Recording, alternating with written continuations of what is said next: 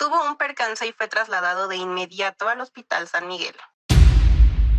Lamentablemente, en la mañana del día de ayer se informó sobre el fallecimiento del productor Nicandro Díaz, después de que en las redes sociales se solicitaran donantes de sangre en un hospital de Cozumel unas horas antes.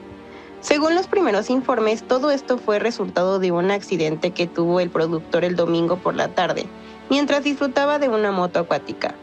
Según varios medios, sufrió un contratiempo y fue llevado de inmediato al Hospital San Miguel de esa localidad. Ahora que se ha revelado más información, en TV Notas hemos descubierto que el productor, quien recientemente había culminado con gran éxito la novela Golpe de Suerte, estaba de vacaciones con su pareja, la actriz de doblaje Mariana Robles, con quien al parecer tenía una relación reciente.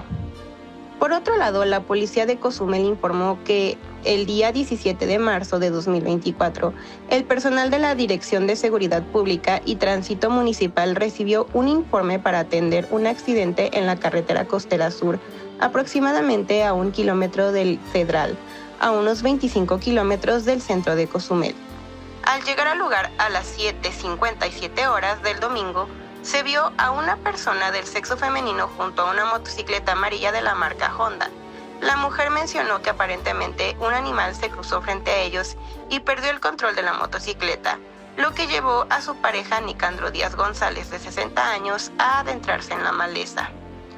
Además, nos informaron que esta relación era bastante privada y que pocos sabían de su unión. Se conocieron hace algún tiempo, pero llevaban relativamente poco tiempo en una relación sentimental. Las redes sociales, la actriz compartía su disfrute del clima, la playa y la gastronomía especial del lugar.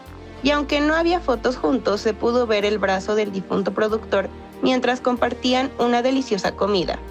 Asimismo, a través de su cuenta de Instagram, compartió una imagen pidiendo donaciones de sangre para el productor. Incluso una de sus amigas también le expresó sus condolencias después de confirmarse el sensible fallecimiento del productor. Por el momento se sabe que el cuerpo de Nicandro Díaz sigue en Cozumel, a la espera de que algún familiar lo reclame, ya que aunque Mariana era su pareja, legalmente no tiene responsabilidad para reclamar el cuerpo, que está siendo sometido a una autopsia. Es lamentable el fallecimiento del productor Nicandro Díaz tras el accidente que vivió mientras disfrutaba de unas vacaciones. No cabe duda que esta noticia ha conmocionado a muchos, especialmente a los que tenían programadas reuniones de trabajo con el productor como fue el caso del actor Gabriel Soto. ¿Qué opinas al respecto? ¿Qué medidas crees que podrían tomarse para evitar accidentes como el que resultó en la trágica muerte de Nicandro Díaz mientras disfrutaba de actividades recreativas? Entre otros temas, Ricardo Casares pisa de nuevo el set de Venga la Alegría si quieres saber más sobre el tema, a continuación te compartiremos el siguiente link.